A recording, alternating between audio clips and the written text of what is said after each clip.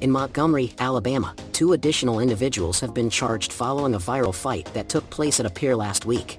The incident began when a group of white boaters occupied a pier that had been reserved for a ferry and refused to move their boat. This led to a physical altercation between one of the boaters and the ferry's co-captain, who is black.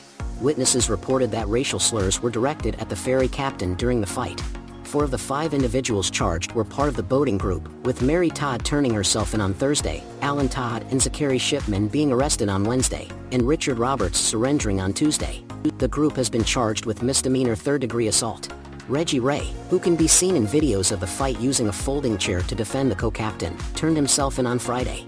The Montgomery police have stated that there is currently no evidence to suggest that race played a role in the fight, and they are not considering hate crime charges.